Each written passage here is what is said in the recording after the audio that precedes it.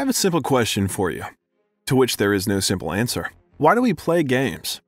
To relax? To plunge into a fictional world and get away from the difficulties of the real world? To. to be honest, there can be an infinite number of answers. But if we talk about immersion in the game, then the ideal gaming embodiment of this desire is immersive sims, which, unfortunately, are dead? Are they dead? Do you think that the last successful immersive has been Deus Ex? But what about the complete freedom of playing and the possibility to bear in Baldur's Gate 3? So, we decided to cover this topic in our new video, to yearn for one of the best ideas of the history that has gone into the background, which today is reborn and revealed again in indie games. You are watching Press X. Get comfortable, and let's get started.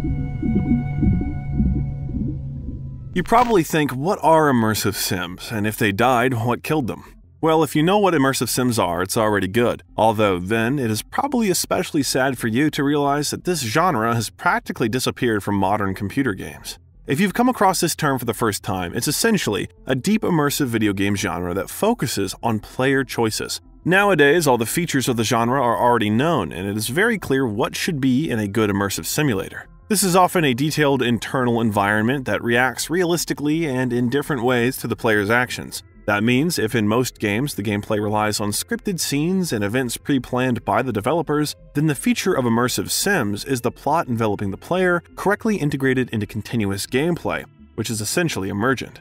We will talk about this later. All this guarantees high interactivity of the game world and the possibility of various and creative ways of passing, including unplanned by the developer.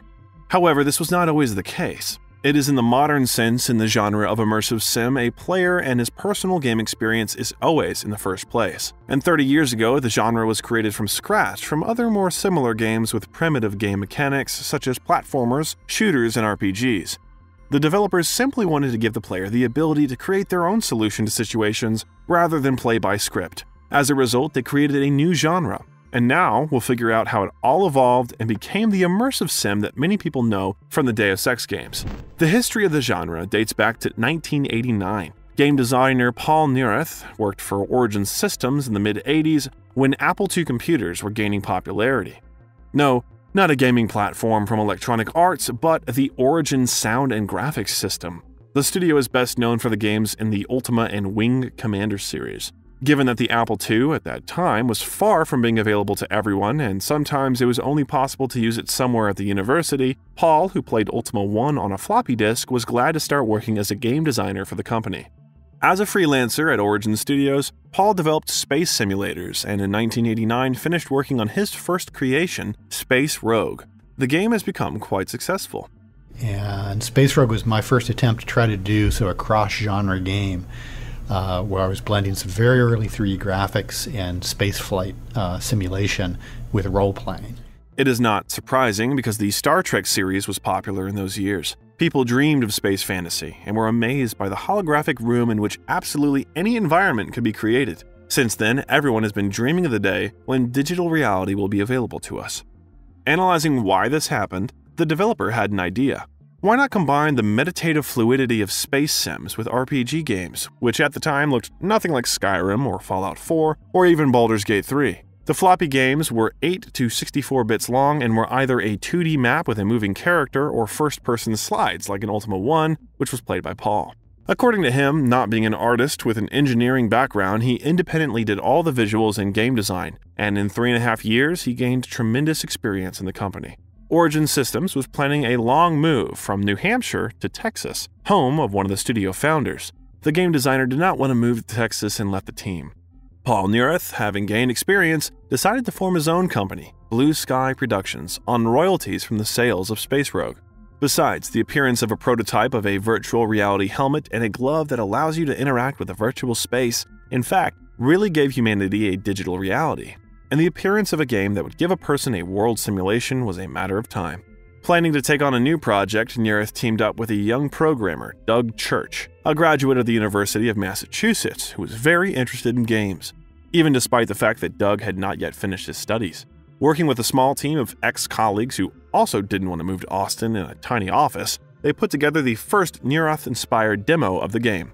Paul has been an active Dungeons and Dragons player. In those years, many developers were inspired by the game, its plots, monsters, and role playing system, thinking about how to modify it and transfer it to their products. But Paul was interested in something else.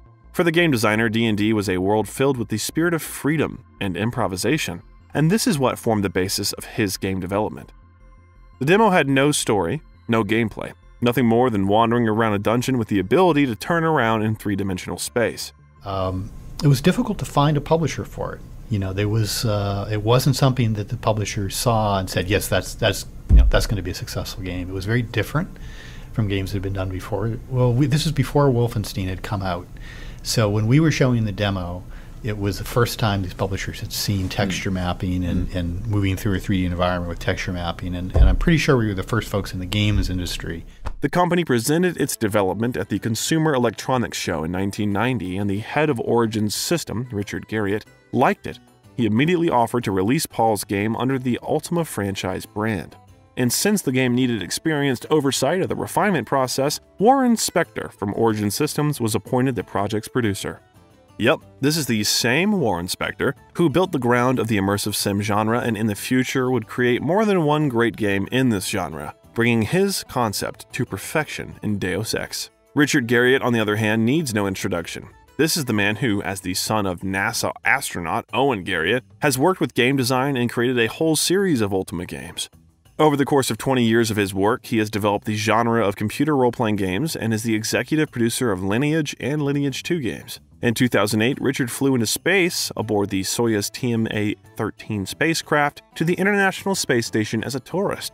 In short, these two were adventurous in those years, and it was they who took up the development of the idea of Neurath and Church. The team wrote a new game engine with advanced lighting and increased verticality while also marketing the game. The only downside was that Garriott hadn't allocated enough money for what it would take to produce a quality game. The project's tentative name, Underworld, stuck, and when the funding problem was resolved a year later, the game was released as Ultima Underworld The Stygian Abyss. It was an action survival RPG from the first person.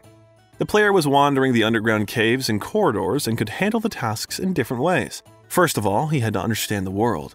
Opponents could be defeated in close combat or in ranged combat with the help of magic, or simply bypassed in stealth mode. In addition, the player had an inventory in which they could steal interactive items or craft items for themselves based on logic and life experience. And besides this, it was necessary to monitor the parameters of hunger and fatigue and look for food in various rooms, fighting for it with skeletons. It was at this moment that the idea of such games with emergent gameplay was born. What I mean is that instead of the same type of scripted situations, the player received a set of tools and mechanics to create unique gameplay, unique game tests, and tasks that the player himself chose how to solve. There was no single correct way of passing the game invented by the developers.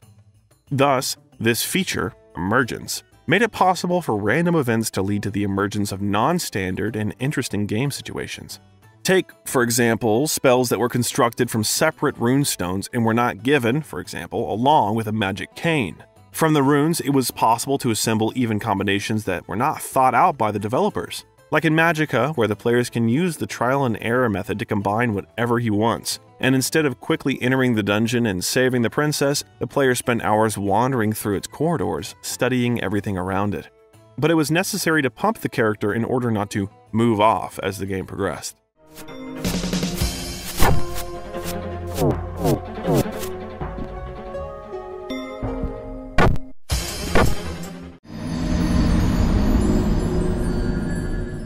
The game was new not only in its genre, but basically became a new genre. According to Paul, this is why it was difficult for him to find a publisher at the demo stage, and for the same reason, it did not become very popular after the release. Furthermore, the publisher, Origin Systems, has slashed its marketing budget. However, thanks to word of mouth and the user's attention, the game gradually became popular and reached the mark of half a million copies sold, which at that time was a confidently good result. This is where the first rules of the yet to be existing immersive sim genre come into play. There's a first person view, so that the player associates himself with the character. A believable game world, even if the game is about the Middle Ages, the player must quickly understand where he is and how everything works here. variability, and freedom of action. The game should not be linear, but problems should have many solutions. But the developers still had to bring all this to perfection.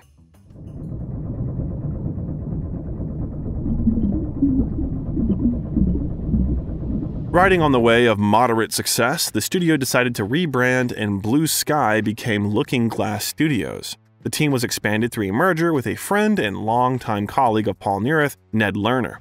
In fact, they had previously worked together creating Blue Sky, but now they decided to build a business on the principle of parallel production. The Neurath team began working on serious RPG style games in different environments, while the Lerner team moved on to fly simulators and various sports games like the Madden series.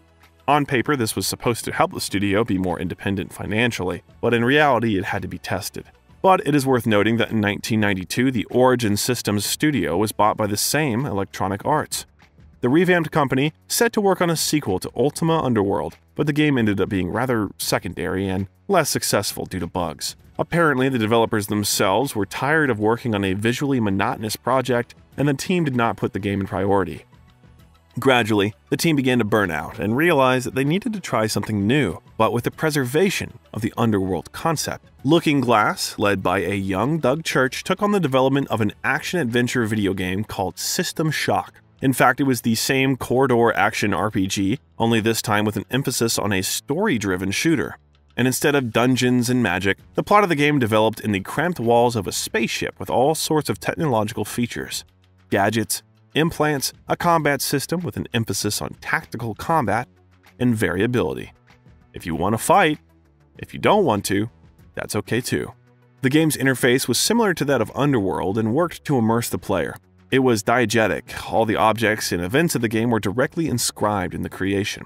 Video games, on the other hand, have many more conventions that are more difficult to explain through narrative events than in the movies, as they have more levels of viewer involvement. From the soundtrack to the start menu, there are many elements in games that are not explained by their world. That is, receiving one or another diegesis signal, the player could guess that something had happened. He ended up in a new space, picked up the key, and so on. A great example of this approach is Dead Space, with its health bar on the back and holograms to provide information to the character.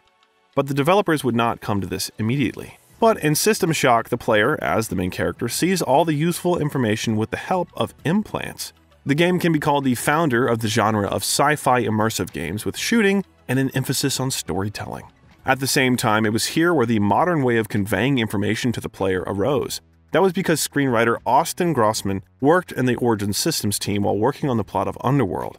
He was responsible for writing dialogues and conveying information to the player through them. But a separate dialogue box every now and then knocked the player out of the gameplay and interfered with immersion in the game. Rumor has it that while working on a new game, the developers decided to abandon the dialogue box. And Austin came up with the idea of telling all the story information in notes and audio recordings found by the player. Shodan security's closing down on us. The elevators are frozen. Myra keeps saying that it's the cameras and the medical CPU core that shouldn't. The very idea came to him thanks to the book Spoon River Anthology by the American poet and playwright Edgar Lee Masters. The book contained 244 poems about the lives, losses, and ways of dying of 212 individual characters living in the rural town of Spoon River. Many of the poems intersected in plot through repeated references and references, which created a true and understandable picture of the community. And given that Edgar Lee was also a biographer, it was not difficult to form an image of a place with the help of people's biographies. Austin Grossman laid the foundations for the concept in which the player, being at the beginning of the game, finds himself somewhere in the abyss of events. Most of them have already happened, and all that remains is to find out what happened, and piece by piece through the records to assemble the puzzle. We will talk about Grossman a little later. By the way, Harvey Smith managed to work on the game as a System Shock tester. In the future, he would have a big successful path cooperation with Warren Spector, and the position of creative director at Arkane Studios. But he started with a collaboration with Looking Glass. With such a creative team gathered at the beginning of 1993 to work on a project, the game simply could not fail. System Shock was somewhat similar to its progenitor in the face of Ultima Underworld, but the game had its own features. Weapons were divided by type of damage needle, electromagnetic, tranquilizing, gas, bullet, and energy. For example, electromagnetic pulse weapons did a lot of damage to robots but had no effect on mutants. Conversely, gas grenades were effective against mutants, but did not damage robots. Gadgets could give the player great advantages, but at the same time, they negatively affected his character. For example, from the excessive use of patches, color perception was disturbed, and everything around was immersed in yellow violet colors. Having pumped too many devices that feed on the character's energy, the player got tired in a few seconds. Furthermore, only a certain number of items could be carried with them, so the player had to think carefully before choosing their equipment and tactics of passing. The artificial intelligence of opponents, mutated humans and crazed robots, was advanced enough to destroy walls, move boxes, react to noises, and thus follow the player. Artificial intelligence only increased immersion in the game atmosphere. And of course, the sound in the soundtrack was written by the talented composer and game designer Greg Lopiccolo. Initially, he was a little known rock musician and he got into the development team by accident. Once, he just came to Looking Glass to visit a friend and was asked to help write the soundtrack. It was he who laid the idea of diegesis of sounds in the game, which helped the player navigate the narrow corridors of the spaceship. Lopiccolo would continue his collaboration with the team in the future. Thus, in System Shock, the developers have perfected the rules of the immersive sim, adding a couple of mandatory features to them, presenting the plot through the player's game research, which allows you to form your own opinion on the information received, full control over the character, as the player must have similar features to impersonate with him. Well, you understand.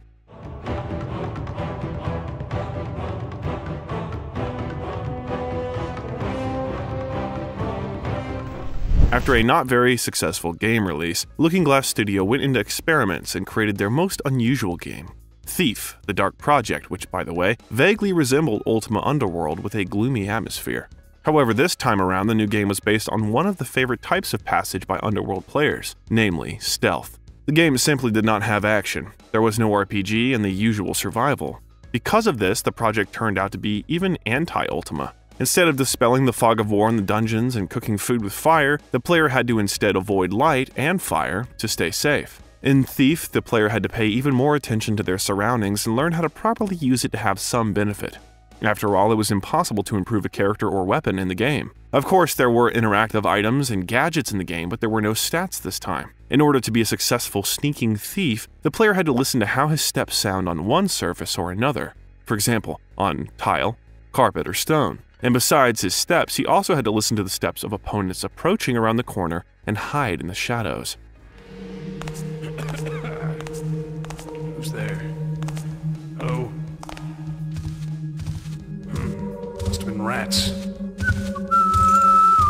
The world was the most realistic among all the projects released by the team. No magic or fantasy, typical dirty Middle Ages. And in order to navigate this dirty Middle Age, the players had to read various signs and eavesdrop on conversations behind which the plot of the game was hidden. It meant no pointers on the map, there were no special quest markers in the game.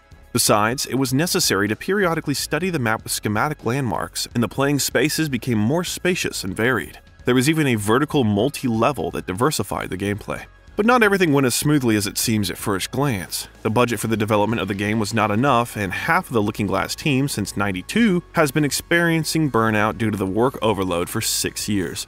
Because of this, part of the core team of developers left the project, including some key people in the company. In a word, the work was carried out through force, but the studio got out. The head of the development was appointed composer, already known Greg Lopiccolo. The studio looked at what Lopiccolo had contributed to System Shock, and realizing that he was more than just a composer, they entrusted him to lead the entire development of Thief. Here, his concept with sound prompts for the player shone in new splendor. For example, the guards in the castle constantly mumbled and whistled, and since the player saw everything from the first person and not from the third, which would allow them to quietly look around the corner, and the opponents were not displayed on the map, which only added realism. So these sounds were the only way to understand where the enemy was and calculate his approach. The already breakthrough artificial intelligence from System Shock and Thief has been finalized and made it even more innovative. The guards in the game moved more thoughtfully, reacted better to changes in the room, whether it be open doors or sounds made by the player, and in general were smarter than all my classmates. Except for minor bugs. The programmer, Tom Leonard, was responsible for this, who later in 2002 went to the Valve studio and created artificial intelligence for Half Life 2 and its episodes there. And there, he was probably canonical. Welcome. Welcome to City 17. You have chosen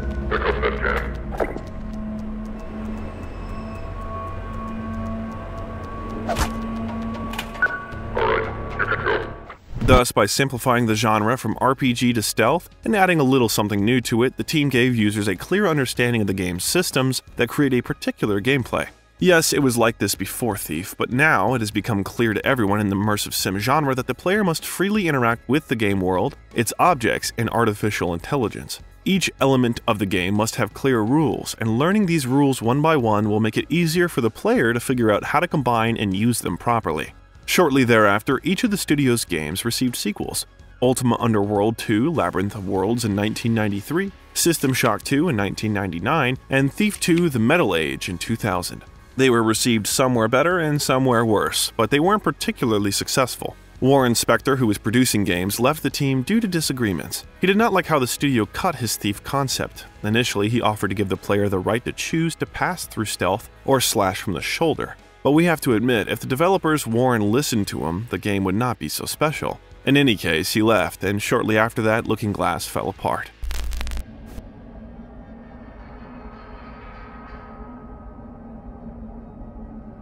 After leaving Looking Glass, Warren Spector moved into the studio of designer and developer John Romero, Ion Storm. The company at that time was founded quite recently, in November 1996, having signed a contract with the English parent company Eidos Interactive to release six games. Ion Storm planned to finish their games, developed by them at the companies where they worked before, to release them quickly and receive initial income. The central office of the company was set in Dallas on the 54th floor of the JP Morgan Chase Tower skyscraper, and its feature was a huge company logo on the floor of Italian marble. It is worth saying that they invested a lot of money in their offices. Well, Warren Spector was invited in late 1997 to found the Austin branch of Ion Storm. Things were going better in Austin than in the Dallas office.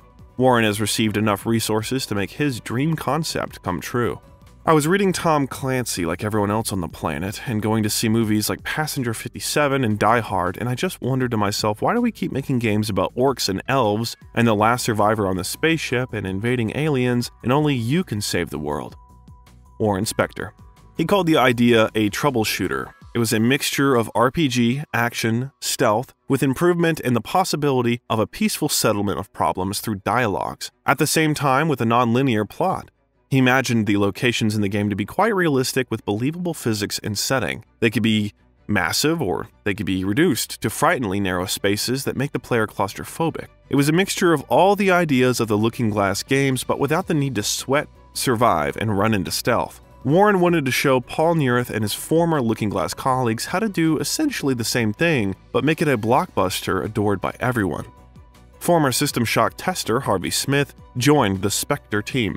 The screenwriter of the project was Austin Grossman, and the main producer of System Shock, Doug Church, moved to the same English company Eidos Interactive. And it is Doug Church, as part of this company, that will publish the new Warren Spector game.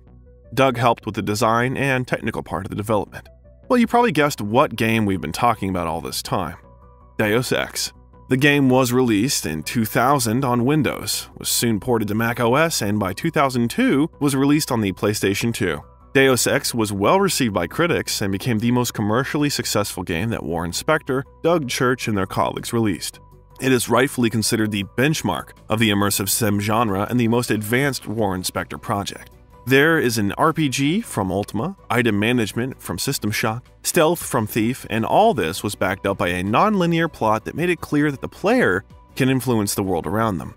That is the emphasis on choice and consequence. The player saw that his actions not only affect the world around him, but also change it. The player was the most important thing that happened in the game. He created the gameplay himself. Classic example is LAM ladders. Light attack munitions, they're basically hand grenades that work in three ways, but they didn't affect the player. And what happened was we had modeled them, the simulation, hear the air quotes around that word, that they were modeled as 3D objects with collision.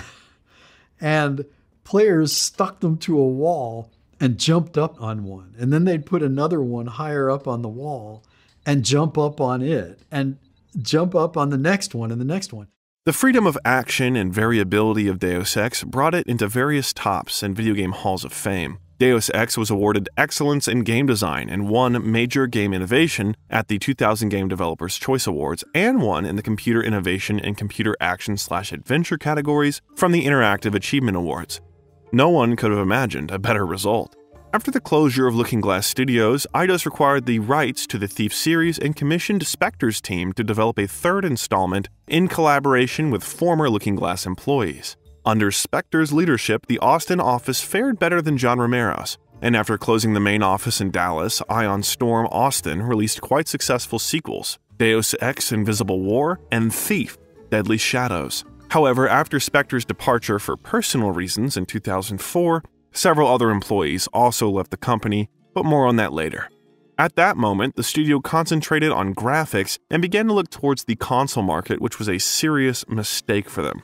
Deus Ex Invisible War was originally developed for the Xbox, and although the game has surpassed the original in sales to date, already at the release stage it was criticized for its design, simplified gameplay and story, and most importantly, for performance problems. The consoles of that time could not give the game a point of growth and become much more innovative. Although for the same Thief Deadly Shadows, the developers came up with their own rendering technology which made it possible to process shadows better than in Doom 3 of the same year, and it looked very cool. But for the consoles, again, we had to cut down several large locations, otherwise, the consoles simply would not have pulled the game. And already at that moment, the newly born genre of immersive sim began to experience its first difficulties. Consoles literally drove it into a tight framework with all the infringements of the player's opportunities and freedom. It turned out that the bottleneck was too narrow for the genre. It was not possible to release something better and more powerful on weak consoles, as you wouldn't go far on old horses. But the funniest thing about this story is the following. Critics' ratings for both projects hovered around 80 to 85 out of 100, and you won't believe it. This was the main reason for the decline in morale in the team. They tried very hard and expected that the scores of the games would be at least at the level of the original Deus Ex, around 90. But the score of 80 literally killed the mood in the team, and the staff began to leave the team and move to other studios. As a result, in February 2005, Eidos also closed the Austin office, which marked the end of Ion Storm as a company. It is worth mentioning also another name that will be useful to us in this story. While working on Thief, the Dark Project, Ken Levine was a writer on the team for a short time incredibly talented game designer who was named one of the storytellers of the decade by Game Informer in 2007, and soon you'll see why. Initially graduating from Vassar College with a Bachelor of Arts degree in drama, the young screenwriter wanted to get into the film industry and write scripts for films. He even wrote two scripts, but then he started working with games. For Thief the Dark Project, Levine came up with the initial idea. The project was then called Dark Camelot, and the main antagonists in it were King Arthur, Lancelot, and Merlin and together with Doug Church, they worked on the concept of stealth in the game. According to Ken, the inspiration for this concept was submarine simulators, which he played a lot in his youth. There, being underwater, you had a power that you did not have on the surface, and in Thief, the player in the shadows had the same advantage. But in the end, none of this was in the game. King Arthur came a lot, didn't he? I, th- I think you mean that he's associated with the court of Camelot.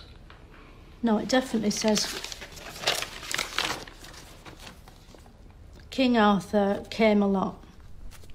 Ken Levine did not wait for the release of the game and left the Looking Glass Studios team along with a couple of other employees, Jonathan Chey and Robert Fermier. The three of them founded the Irrational Games Studio. After that, he still helped his former colleagues release System Shock 2 because, again, it was his development and his ideas, which just so happened to fit perfectly into the System Shock setting. So the sequel became a collaboration between the two studios. The game retained its gloom and hardcore. It became even more difficult to survive as the weapons began to wear out, there was not enough equipment, and now it was necessary to select cartridges for a specific enemy. But there were more game mechanics, and even when choosing a character class, the player no longer needed to study the interface but had to simply select and enter the desired door. The game had many such diegetic tricks to pull the player out of the gameplay as little as possible with pop ups, interface, and text. In a word, Ken Levine was a good storyteller, and he would prove it more than once. System Shock sold just over 50,000 copies. Well, you know, it was a complete failure. Even the first part, not the most successful, sold 170,000 copies, although at that time it was considered a competitor to the original Doom. Well, to sum up all the above, the most successful game of the former Looking Glass developers was Deus Ex, made by John Romero's studio, Ion Storm. By the way, John Romero himself was a swindler. While his Austin company was making Deus Ex, he was in Dallas working on a Quake powered project, Daikatana. Having moved from ID Software to Ion Storm, developer of the influential first person shooters Wolfenstein 3D, Doom, and Quake, was due to release Daikatana within the next seven months. And from the very beginning of development, the game was advertised as the creation of John Romero, the man known for his work at ID Software, with the words, Everything that game designer John Romero touches turns to gore and gold. Simultaneously, the developer often went into trash talk, and the marketing of the game itself was too aggressive and offended the players. The development of Daikatana dragged on for three years and was released on the Quake 2 engine, but the saddest thing was that it was a failure. Critics defeated the long awaited, innovative game, because of which the collapse in the company began. The offices were in conflict with each other, and partially it also influenced the closure of the first and later the second branch of Ion Storm. And while some companies closed and their employees went to other companies, which would also close over time, the young French developer Raphael Colantonio worked at Electronic Arts. If you remember, they bought Origin Systems with its Ultima series, so, when Colantonio was about 18 years old on the verge of military service, which was compulsory at that time in France, he entered the competition held by Electronic Arts for knowledge of the game series Ultima, which he was a fan of. He did not know that the competition was intended to find suitable candidates for a new studio that Electronic Arts was opening in France. So, in 1989, thanks to the competition for the Ultima series of games, Colantonio was hired by Electronic Arts. However, with the popularization of home video game consoles, Electronic Arts began a shift towards sports oriented games, and Colantonio was not particularly interested in this area, so he left the company. Around 1999, he decided to open his own studio, and with the financial support of his uncle, he and his three friends founded Arkane Studios in Lyon. The things you do to make a continuation of your favorite Ultima Underworld. The author of the original game, Paul Neurath, was behind the development of Underworld 3, but the rights to the series belong to Electronic Arts. Electronic Arts said they were not interested in Colantonio's concept as it was proposed, but that they would share the rights to the series if Colantonio allowed them to interfere in the development process and accept their radical changes. Of course, this did not suit him because he wanted to lead the development himself. Colantonio and his team had to remake the upcoming game, placing it in their own universe, no longer connected to Ultima. So, in 2002, a project very much reminiscent, but taking place outside the universe of Ultima games, Arx Fatalis, was born. The game had the same emphasis on RPGs and survival, work with the interface and items, stealth like in Thief, and even the opportunity to win money in roulette. And besides, there were fighting games with swords and rune magic, which the player had to use himself by drawing spells with the mouse.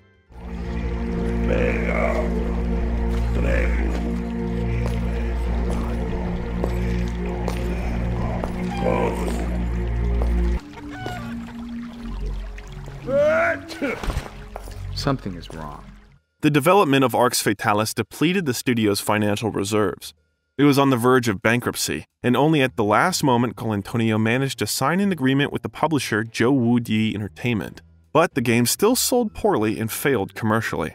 That was accompanied by uncorrected bugs and strong competitors. The Elder Scrolls III Morrowind was literally a month and a half ahead of Colantonio's project and took all the laurels. But in fairness, it's worth saying that its developer, Bethesda Game Studios, will merge work with Arkane Studios in the future. For Bethesda itself, Morrowind was also a breakthrough. The studio was founded in 2001, and at the same time, Bethesda Softworks and Bethesda Game Studios split into a publisher and developer. And the very next year, Todd, Bro Guy Howard, released Morrowind, earning critical and commercial success and winning several Game of the Year awards. As a result, by the mid 2000s, the immersive sim genre had passed its peak and was approaching a crisis. And perhaps here is the best moment to take a short pause, eat Twix, and think why were they so interesting and innovative, but such a failure financially? Why didn't these games succeed? First of all, high production rates. You may not have noticed, but all of the above projects came out in just 10 years and all had a hand in the former Looking Glass developers. The same people released a game a year, which was just an unrealistic pace. Today, the aforementioned Todd Howard can sell the same Skyrim for 10 years, and all this time while sitting on the couch and developing the Elder Scrolls 6. And then people really burned out from the speed and volume of work which was accompanied by the release of new consoles and technologies. And if you remember, the Looking Glass studio simultaneously released sports games and simulations to somehow distract and earn money. Actually, for this reason, many games were either transferred to be completed or came out raw and crooked.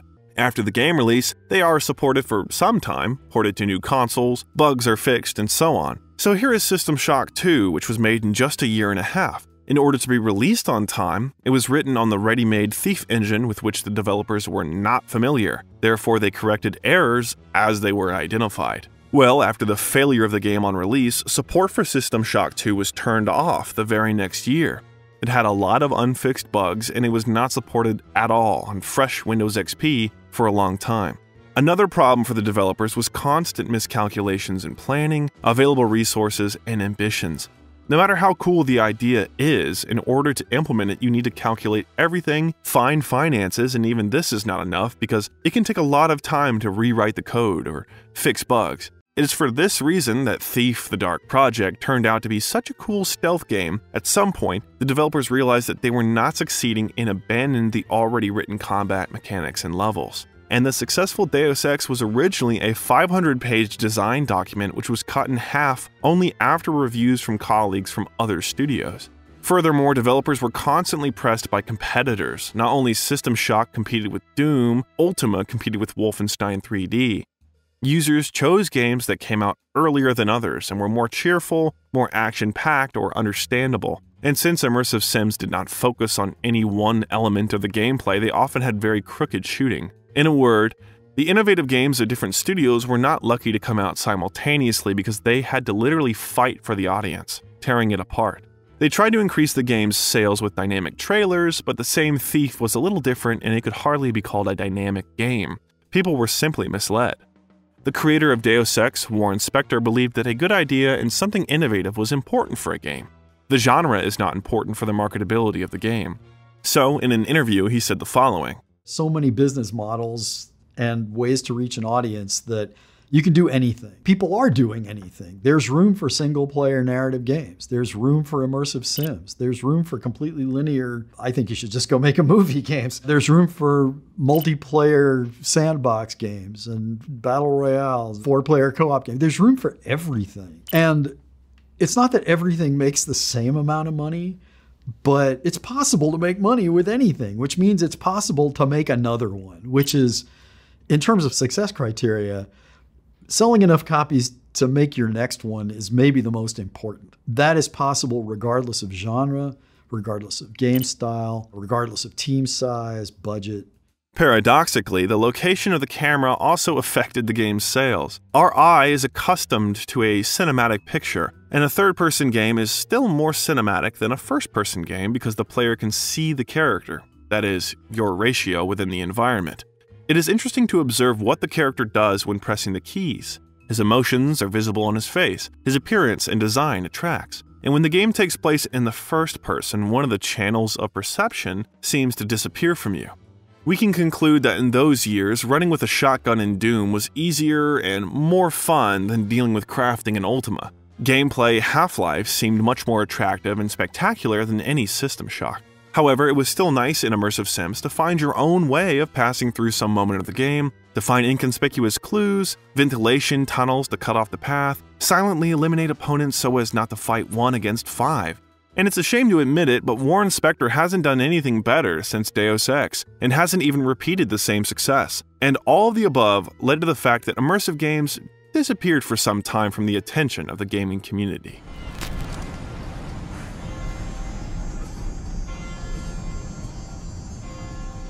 The year 2007 has come, and with the release of one project, the world of immersive games has received a second wind.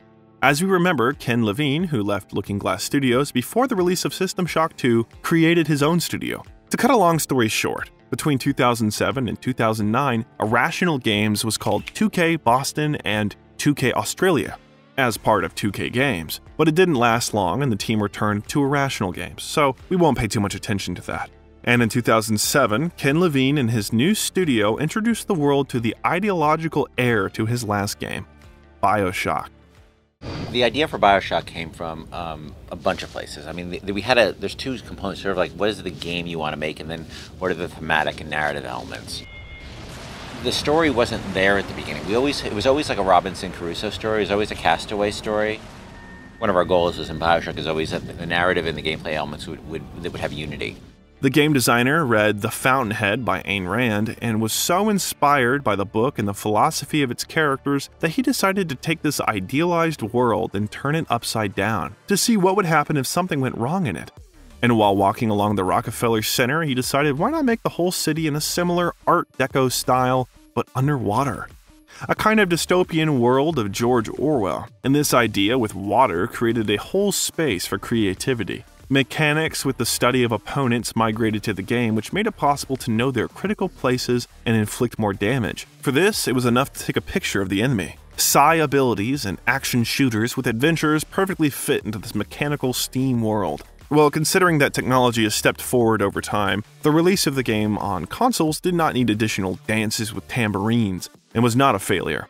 As a result, the game was released on both the Xbox 360 and Windows, was eventually ported to the PlayStation 3, and later went through another series of re releases on all modern consoles. Bioshock was extremely positively received by critics and sold 3 million copies in two years, which made the game quite successful. This allowed Bioshock to expand into a series of successful projects and even influence the games of other studios by showing how to make the in-game interface user-friendly. Take at least the same Dead Space or Dishonored. Simultaneously, the guys from Arkane Studios did not sit idly by, and after the failed Arx Fatalis, they released the first person action role playing game Dark Messiah of Might and Magic, where the player was first provided with an advanced combat system with the ability to interact with the environment during the fight. The game even had a multiplayer mode where either the player could participate in a 1v1 gladiator fight, or two teams with five player classes fought on a large map. If you think it was something like this,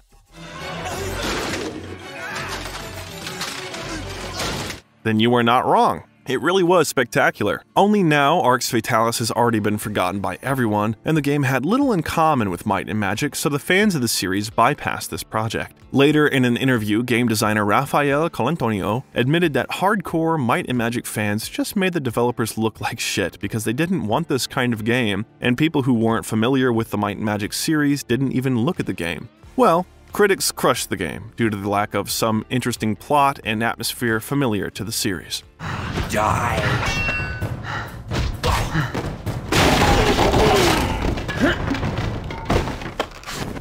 Of course, among a rather narrow audience of fans of the game, it became a cult classic, but they forgot about it pretty quickly. Arkane Studios has moved on to other projects like the 2009 mobile game Karma Star for iOS or the cancelled shooters The Crossing and Half Life 2 Episode 4. Yes, at some point, Gabe stated that after releasing three main episodes that continued the story of Half Life 2, a fourth episode was planned, which would have its own separate storyline and would be developed outside of Valve. But as you know, even the third did not come out. What's the point in developing the fourth? So Arkane Studios thought the same thing and concentrated on a new game. Second director Harvey Smith joined Colantonio's development team, and the company took on the development of immersive games about a silent stealth killer. At the same time, stealth this time was not a hardcore and mandatory style of passing. In the game, you could run around and kill everyone around with many unusual abilities. There were 6 active abilities, 4 passive abilities or enhancements, and 40 bone charms that gave the player supernatural privileges. Finally, in 2012, the now legendary Dishonored saw the world a first person adventure game with a focus on stealth action, using gadgets and the environment to destroy opponents. The world in the game was a series of self contained, mission oriented zones for varied gameplay. Between missions, the player was taken to a central hub, the Hound Pits Pub, where the player's character Corvo could meet up with their allies, receive mission briefings in alternate targets, and convert collected loot into new equipment and upgrades.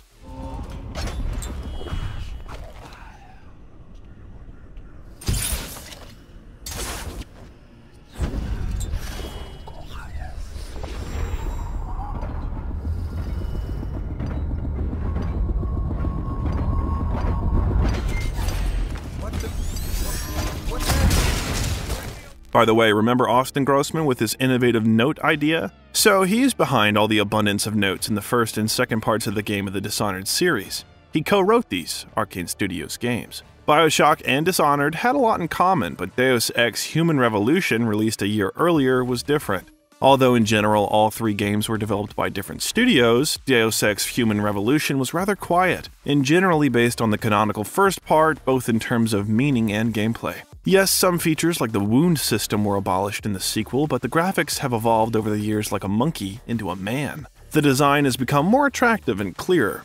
It was a worthy continuation of the series. After the mediocre spin off Deus Ex The Fall, which was released first on iOS in 2013 and the following year on Android and Windows, the fourth full fledged part of the series, Deus Ex Mankind Divided, was released in 2016. But the developers of the series were pursued by failure after failure. First, during development, information about the game was leaked. The team then failed the pre order. The Augment Your Pre Order program meant the developers were supposed to release the game four days earlier at a certain level of pre orders, but it was closed due to indignation of the players, and all bonuses except for the early release were included in the regular pre order.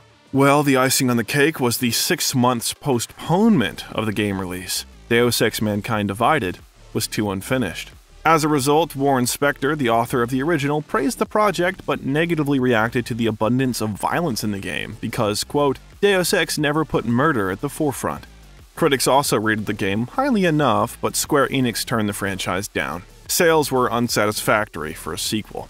It's hard to say what they expected, but only in May 2022, the total sales of Deus Ex Human Revolution, Deus Ex Human Revolution Director's Cut, and Deus Ex Mankind Divided exceeded 12 million copies. Problems with sales of immersive games also affected other studios. It seemed that the genre had just begun to revive again. Several high profile titles came out at once. Bioshock Infinite broke the sales record of the original series in half a year and sold 11 million copies in two years. But no, Deus Ex Mankind Divided only reached that sales figure in 2022.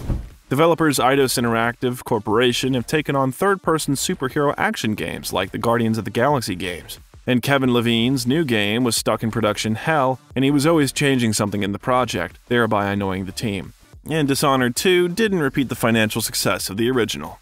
And the very next year, 2017, Arkane Studios, together with Bethesda Softworks, released Prey, which actually became the studio's swan song in the immersive sim genre. Initially, the game was conceived as another rethinking and spiritual continuation of System Shock. At the same time, the studio provided the player with several potential ways to progress through the game and considered the Talos 1 in game station as a rethinking of the idea of their own dungeon from Arx Fatalis. It is worth noting that Prey had a not so successful eponymous progenitor in 2006, but when its sequel was being prepared, the rights to it were transferred to Bethesda, and the resulting game didn't use any of the assets of the planned sequel and included only the title of the previous game and the general theme of the protagonist being hunted by aliens, and then in a different way. Microgravity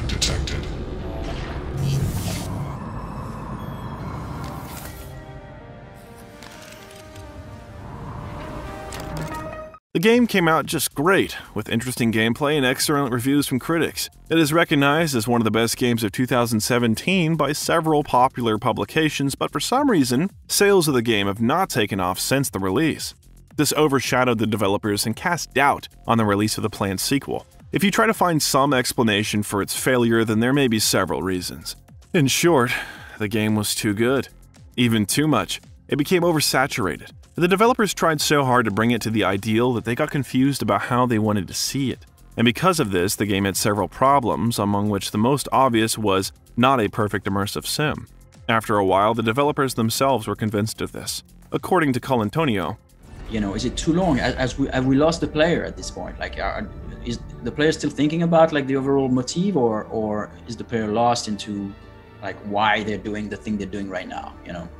So it's a very, very iterative process, uh, and which can be uh, very distressing to uh, business people who are trying to uh, guide us and, and, wait for the game to come out, like not understanding why this thing is so hard to make. After all, you've already done it 10 times. What is the problem? Besides, according to him, Bethesda insisted for nothing on being tied to the old name Prey, which scared the players away. The developers originally wanted to name the game differently, but Colantonio had to lie to reporters that he was happy with such a name. Only recently admitted that he originally wanted to apologize to the authors of the original Prey and explain that he did not want to steal their intellectual property, but he didn't know its developers and therefore couldn't contact them. Backtracking in the game was annoying due to the constant respawning of enemies in locations after they were destroyed. What was the point then? wasting supplies on them. Furthermore, the principle of immersive play as you want was violated. Constant stealth did not work, and you didn't get enough pockets for all the goodies. There were so many items available for processing into supplies and equipment that the game forced you to regularly return to the processing terminal. The focus in the game has shifted, and the developers have failed to give players the motivation to play the game in all available ways and use all the features. One of the game's lead designers, Ricardo Bare, admitted in an interview There's lots of things I could critique about Prey, but I think probably we should have been a little more um, aggressive and cutting some features from the game so that it was a little, uh, so we could go deeper on the things that we, you know, fewer things.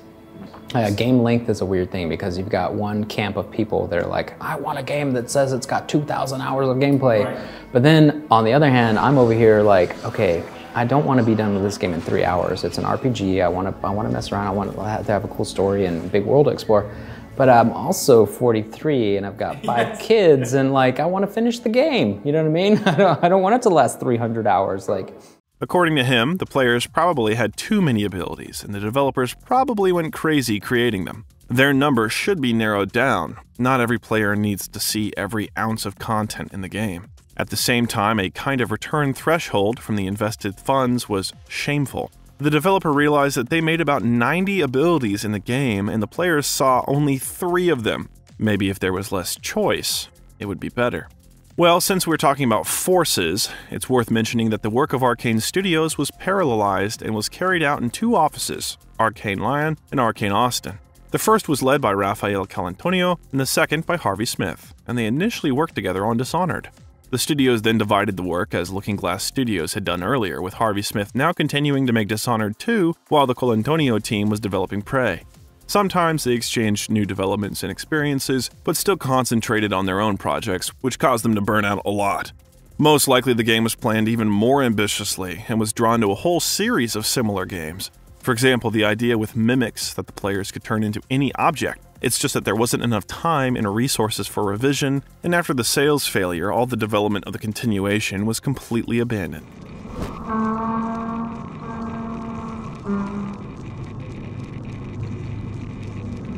Rafael Colantonio decided to spend more time with his family and children, so he entrusted the management of Arkane Studios to Harvey Smith and left the company. He admitted that he hated to lie, and the situation with Bethesda and Prey contributed to his departure, as he felt that he, quote, no longer manages his own ship. In Arkane, in his opinion, the processes began to resemble the creation of a product and not a creative work.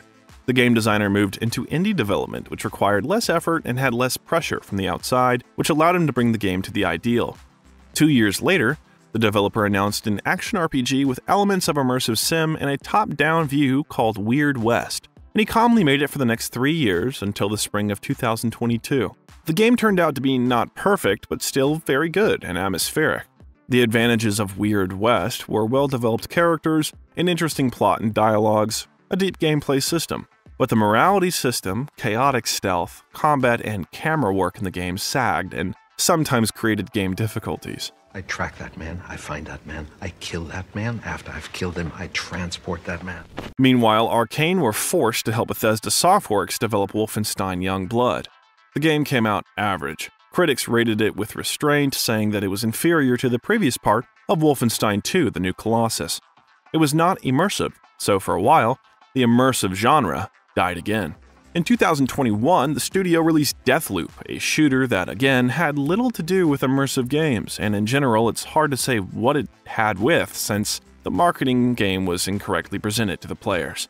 Everyone thought it was some kind of multiplayer online shooter or battle royale, when in fact the game was hiding a fascinating concept with a time loop. In a word, it was a typical action game from Arkane.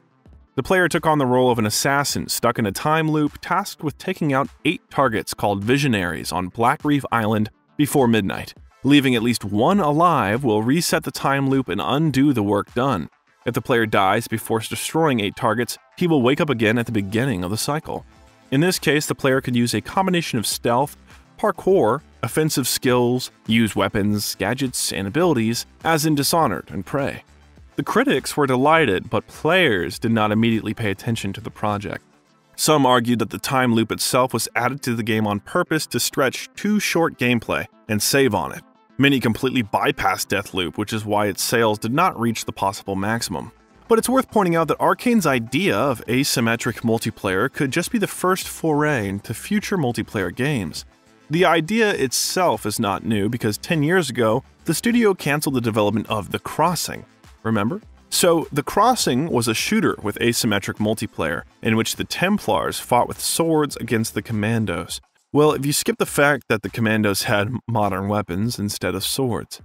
And if it seems that Arkane Studios, with all their marketing hacks, is just a tiny bit short of a full fledged first class immersive sim project that will make them a big and successful studio, then things have been something like this. Mm. First time? In the spring of 2023, Arkane Studios, along with Bethesda, became part of a large deal in which Microsoft became the property. In parallel with this, their first person shooter Redfall came out with co op and multiplayer, and then they knocked from the bottom. The ratings and reviews for the game were the worst in the history of the studio. The game was released with so many bugs that it seemed to be only half completed. To get to the mission, the player was forced to run across the entire map. There was not enough transport in the game, although it basically stood on the street. In addition, the locations in the game were almost empty, and the heroes had one and a half abilities for four. One of them was invisibility, just invisibility instead of shadow stealth like before, facial stagnation, and if the player died during the task, then he would be teleported to the starting point. There was no save in the game. As well as some kind of narrative, there was simply no story in Redfall. It seemed that Bethesda Softworks had finally spoiled the once successful Arkane Studios. There was nowhere to fall below. And if they don't release something worthwhile, then we definitely won't see the old company anymore. Meanwhile, the grandfathers of the genre are not going to retire yet. Paul Neurath and Warren Spector set up Otherside Entertainment in Boston in 2013. A couple of years later, Spector headed the second office of the studio. Where do you think? That's right, in Austin. Well, together they continued to develop games that they liked, so in 2018, the first person action role playing game Underworld Ascendant was released, which became the sequel to Ultima Underworld The Stygian Abyss and Ultima Underworld 2 Labyrinth of Worlds. Building on the original games and years of experience, the developers have re emphasized non linear development, simulated systems, and emergent gameplay. Again, there was stealth, with switching off lanterns and hide and seek, in the spirit of Thief, Again, runic magic. The game was developed as an indie because the budget for it was collected by a Kickstarter from the fans, but they just didn't like it. At the release, the players received bugs, uncomfortable, and, moreover, buggy controls in a rather strange setting and locations. In fact, because of this, no one liked the game. The developers decided to fix the entire level design with patches, but with the exception for the most devoted fans, the game never went to anyone. It was boring and had no single idea, a big sandbox for grown up boys. Interestingly, the project was based on a 500 page document. It's scary to even imagine how much the developers stuffed into the game, which as a result never came in handy for the player. Perhaps if the company had an experienced producer who would have directed the development in the right direction, the game would have turned out better. The only thing that kept the project from failure was the lack of analogs or competitors. Furthermore, in 2016, Otherside Entertainment took on the development of System Shock 3, Warren Spector, who worked on the first System Shock, took on the sequel. And in the spring of the following year, the studio entered into a partnership agreement with Starbreeze, which was supposed to help release the third part of the game. In 2019, publisher Starbreeze dropped the publishing rights to the game, despite the game being half finished. Development continued until the studio ran into funding problems the following spring. Otherside Entertainment was forced to cut developers. Twelve employees left the company, and among them, some of the leaders. In May 2020, the creators of System Shock 3 announced that the Chinese giant Tencent would now develop the franchise. The development was stopped, and the rights to the third and fourth parts of System Shock were transferred to a Chinese company. In an interview with GamesBeat, the producer of the original System Shock, Warren Spector, said that the third part of the series, which was being worked on in the dungeons of Otherside Entertainment, is essentially already dead. The franchise is in the hands of Tencent, and it is up to the Chinese company to decide how to manage it. Spector is happy with this turn of events and believes that, quote, it will be better for everyone. Yeah, yeah, that's right. Yeah. However, do not rush to get upset. Even if this is true and the third part of the game does not come out from Other Side Entertainment, this is not so bad. Most likely, the studio itself would not have pulled such a large project, and something would have come out at the level of Underworld Ascendant. So, it remains to be hoped that Tencent will not abandon the project, and sooner or later, the game will be released. Besides, Night Dive Studios has been working on a remake of the original System Shock since 2015, and in May 2023, the studio released a completely redesigned game on the modern Unreal Engine 4. Night Dive Studios step by step picked up the rights to the first part, the second, and then to the franchise itself.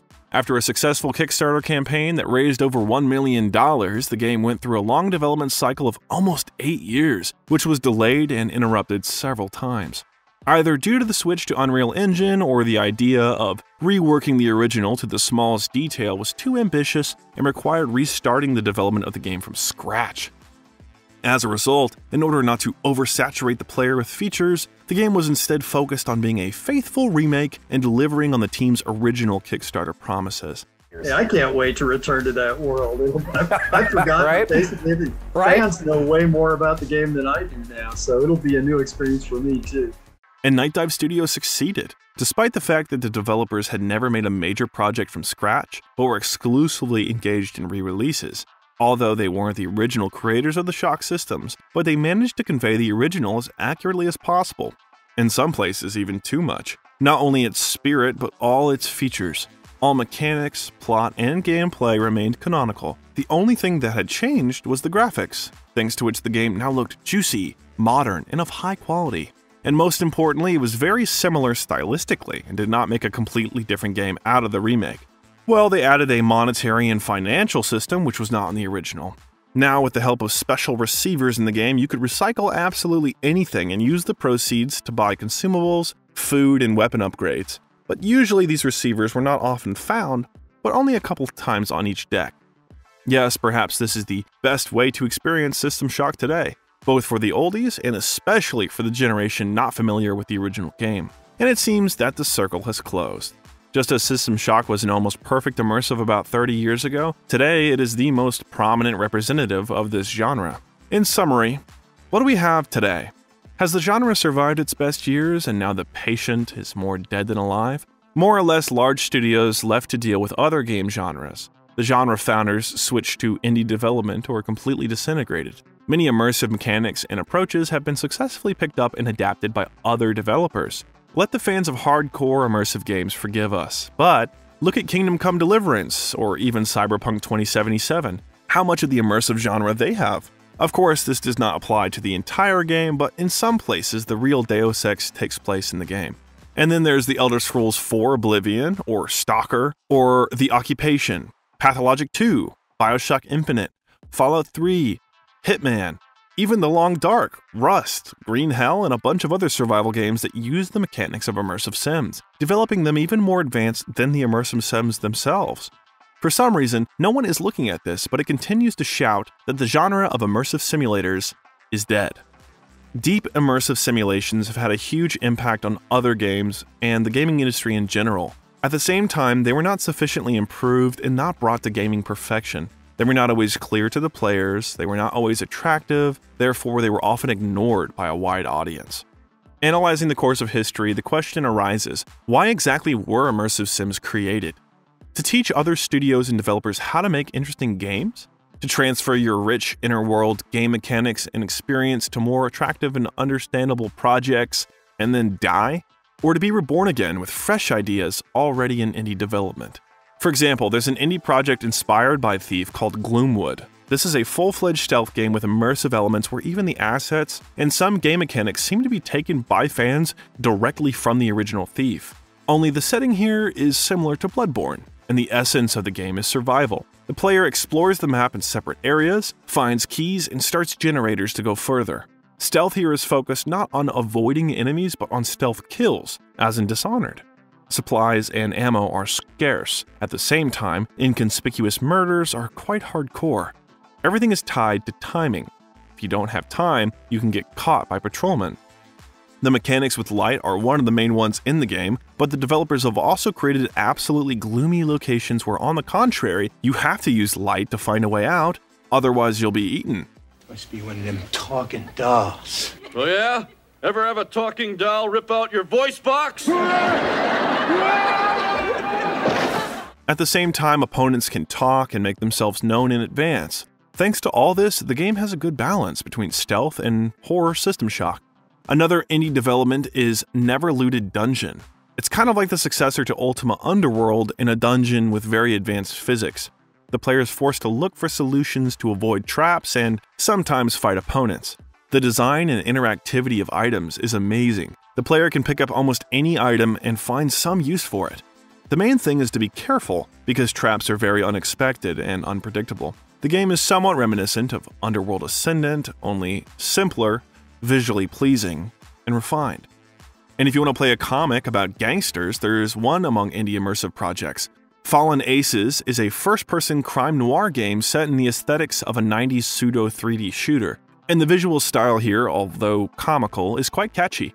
So far, the project is available in the demo, but it's already interesting to see what happens when it comes out. The player must save the beauty from the intruders who are teeming with the streets and game levels. Well, there are many ways to eliminate intruders, as befits immersive sims. If you want, you can fight. If you want, you can go around stealthily or throw them with street garbage and additional objects. You can even lure opponents into a trap. In a word, noir fans should take a closer look at the game. Floor. Be careful. Keen is packing 45 automatics.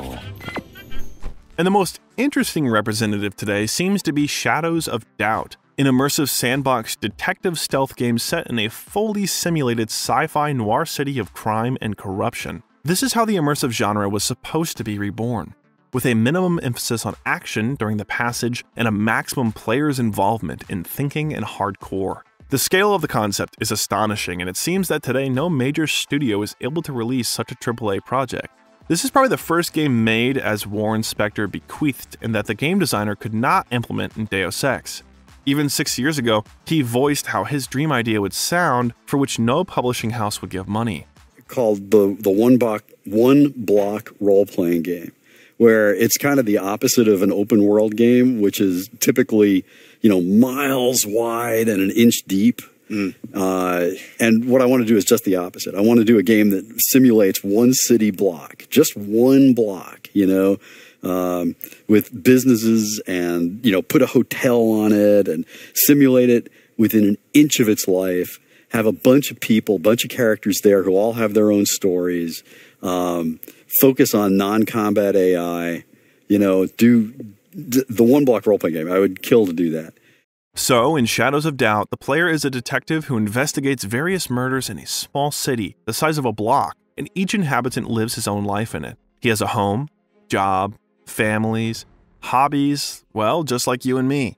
And the player explores all this in order to make a logical chain from the clues and solve the crime. And the missions and the city are created procedurally, so the game turns into a real sandbox with many unusual situations.